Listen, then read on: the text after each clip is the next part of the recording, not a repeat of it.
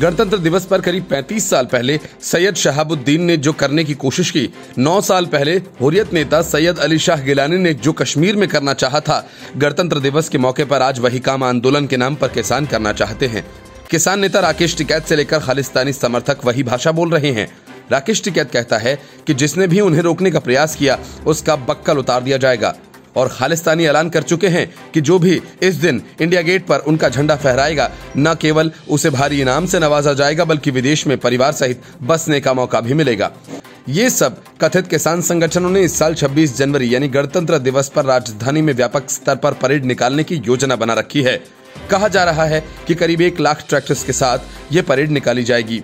इसको लेकर लोग कई तरह की शंकाएँ भी जता रहे हैं और किसान संगठनों के नेताओं के मंसूबों पर सवाल उठा रहे हैं। तो इसका कारण ये भी है कि संगठन ने न केवल सरकार के साथ बातचीत में अड़ियल रवैया अपनाया हुआ है, बल्कि परेड को लेकर कानून को भी चुनौती दे रहे हैं। इनके परेड को दिल्ली पुलिस की इजाज़त नहीं है। पुलिस ने प्रस्तावित ट्रैक्टर रैली को दिल्ली के व्यस्त बाहरी रिंग रोड की बजाय कुंडली मानेसर पलवल एक्सप्रेस वे पर आयोजित करने का सुझाव दिया, जिसे किसान संगठनों ने अस्वीकार कर दिया, और वे अब अपनी बात पर अड़े हैं। यहाँ सवाल यह है कि गणतंत्र दिवस के मायने जब सबको मालूम है तो आखिर जिद कैसी है और क्यों? आशंका जताई जा रही है कि 26 जनवरी को ऐसी कोशिशों के चलते अराजकता फैलाई जा सकती है।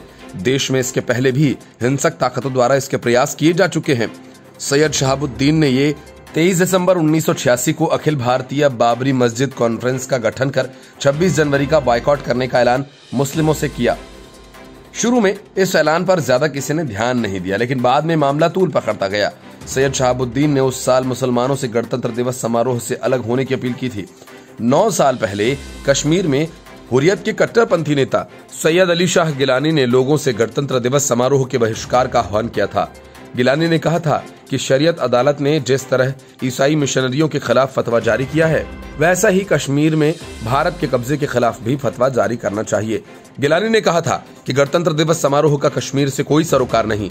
तीन साल पहले 2019 को मिजोरम में एनआरसी का विरोध करके सारे मामले को गणतंत्र दिवस के कार्यक्रम की ओर घुमा दिया गया।